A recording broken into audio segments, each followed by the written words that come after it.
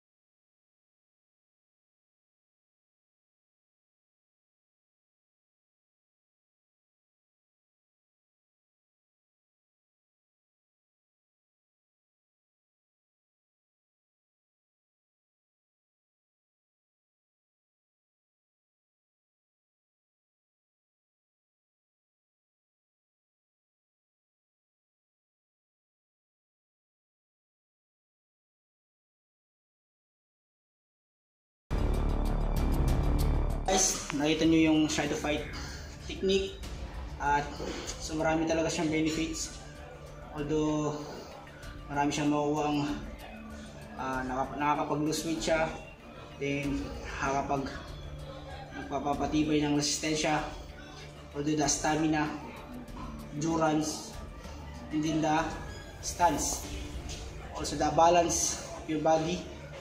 Ma ma-train mo rin doon then the insight of your fa- your opponent makukuha mo rin doon sa pagsha-shadow fight technique. Dahil inisip mo na may kalabang ka kung ano yung mga punches na ibabato mo mababato mo. So pagdating ng actual fight kung ano man yung nagawa mo ng shadow fight magagawa mo siya. So yun yung important, important ng shadow fight. So ayun guys ah, natapos na tayo sa shadow fight technique sana meron kayo napulot na kaalaman at sana kung meron man na kayo napulot huwag nyo kalimutang i-subscribe. Click nyo yung subscribe button and then the notification bell para updated kayo sa mga ganitong videos. Kung may mga comments kayo may mga gusto kayong pagawa sa akin comment down below. Babasahin natin yan para magawa natin. So yun guys. See you